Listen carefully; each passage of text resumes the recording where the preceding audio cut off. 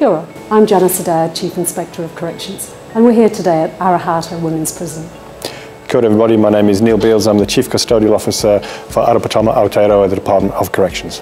The Office of the Inspectorate is a critical part of the independent oversight of the correction system. An important part of the Inspectorate's work is inspecting prisons. All 18 of New Zealand's prisons have been inspected since 2017.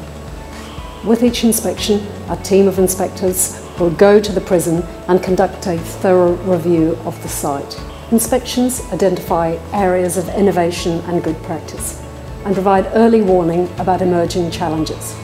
Prisons are complex places and it's really helpful to have an independent set of eyes scrutinising the way that we do things. Our prisons generally work really well and we've got a very dedicated group of staff, but there's always room for improvement. After we receive an inspection report, an action plan is developed so we can address any issues that have been identified in the report. We assess prisons against a set of inspection standards. These have been developed for the New Zealand environment. The inspection standards are based on the United Nations Standard Minimum Rules, which are now known as the Nelson Mandela Rules.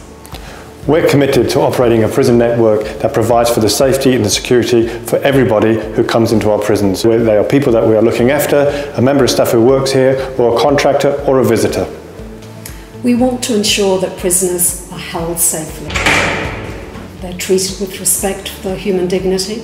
They can engage in rehabilitation that will be of benefit to them when they're prepared for release back to the community. We do this by providing access to health and wellness services and every opportunity to change through participation rehabilitation, education and employment. Our goal is to give them the best chance of living a life free from crime and reducing the number of victims impacted by their offending. Many of our inspections are unannounced. This gives the inspections team a clear picture of what happens in prisons routinely. We look at all aspects of prison life, such as first days in custody, escorts, good order, duty of care, health, rehabilitation and reintegration. It provides assurance that concerns are being addressed and standards are being maintained constantly. We've also introduced progress statements which indicate whether or not a prison has made good progress or not enough progress.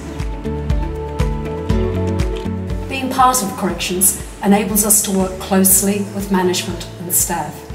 But importantly, we are also independent of the day-to-day -day work that we inspect.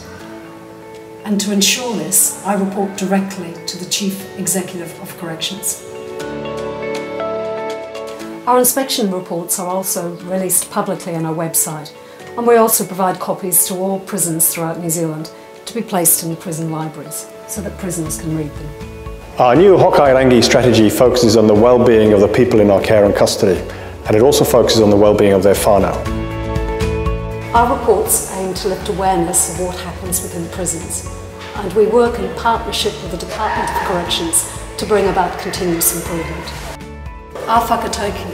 Mā te titiro me te whakarongo ka puta mai te maramatanga. By looking and listening, we will gain insight.